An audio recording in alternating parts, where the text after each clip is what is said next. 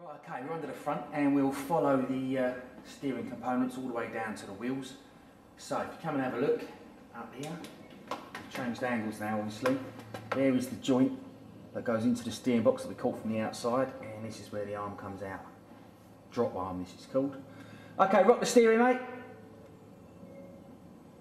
Right, you can see the uh, UJ is flexing, twist rocking in, in and out of the gearbox now, uh, steering box now, but it's not translating into any movement at the end, at the drop arm in. So as long as that is less than 75 millimeters at the wheel, um, you're, you're still passing.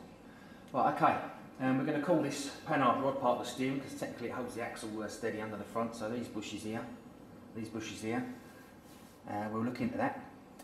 This is one of the heavy duty uh, arms we're going to be replacing. It's definitely uh, about half the diameter of the normal one.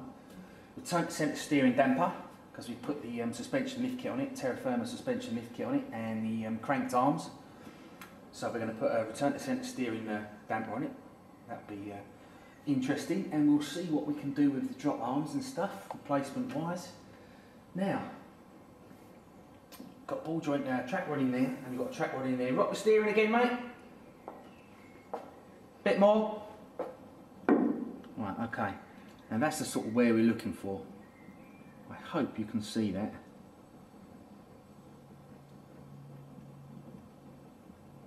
Okay mate, cheers. There's some play in that joint, so that was the two I showed you earlier. We've got that covered. Right, now I'll drop the ramp and we'll show you the checks of the wheels. Okay, wrap the wheel and um, lift your wheel off the ground. You've only got to get it up far enough to get some sort of form of lever under there.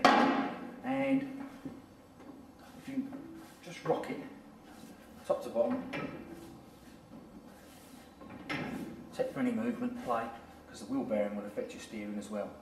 And that's all tight. the next test we do on the MOT is a bar under there and we feel for lift.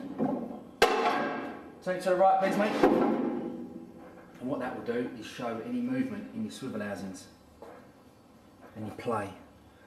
There isn't on this because I've already uh, adjusted it on the um, service DVD and I'll show you how to do that as well.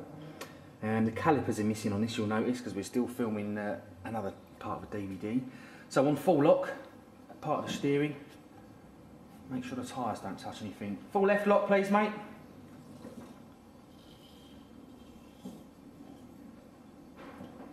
Uh, with a power steering model, all the power steering checks, okay no tyres are rubbing, all the power steering checks are done with the engine running.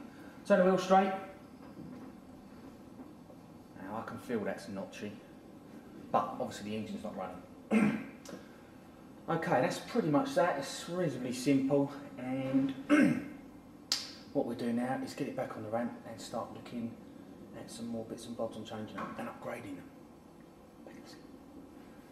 Thanks, Dean. right, we're back on the ramp, and uh, I thought I'd start with the inside.